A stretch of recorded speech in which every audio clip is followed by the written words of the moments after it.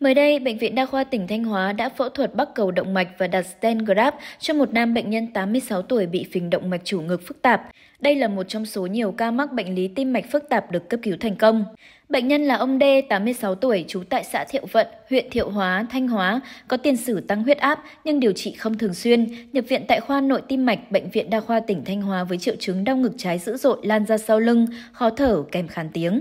Sau khi thăm khám, làm các xét nghiệm cận lâm sàng và chụp MSCT, bệnh nhân được chẩn đoán phình lớn động mạch chủ ngực ngay dưới động mạch dưới đòn trái, kích thước 57 x 59 mm, khối phình gây triệu chứng đau ngực và gây khàn tiếng do liệt dây thần kinh quạt ngực trái. Tiến sĩ bác sĩ Lê Thế Anh, trưởng khoa nội tim mạch trực tiếp can thiệp và điều trị cho bệnh nhân D cho biết, trường hợp bệnh nhân D là ca bệnh rất phức tạp, ngoài kích thước khối phình lớn có nguy cơ vỡ bất cứ lúc nào ảnh hưởng đến tính mạng của người bệnh.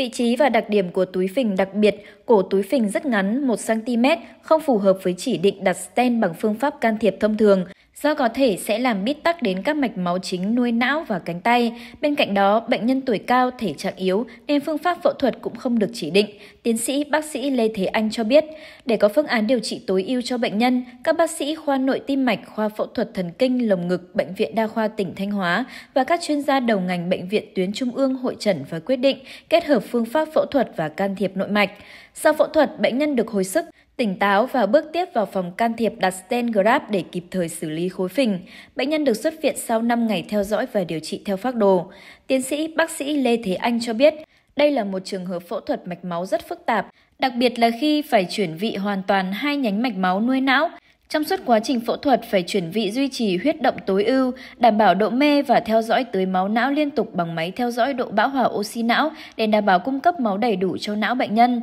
Bên cạnh đó, vị trí túi phình là vị trí khó để đặt stent graft do liên quan đến giải phẫu vùng cổ, có thể gây tổn thương thần kinh đặc biệt vùng tụy ngực. Tuy nhiên, nhờ việc phối hợp nhịp nhàng liên chuyên khoa trong điều trị, bệnh nhân đã được điều trị thành công. Đây không chỉ là niềm vui cho bệnh nhân và gia đình, mà còn là niềm vui của đội ngũ y bác sĩ. Theo trưởng khoa nội tim mạch, phình động mạch chủ không còn là bệnh lý hiếm gặp. Số bệnh nhân mắc phình động mạch chủ nhập viện ngày càng tăng.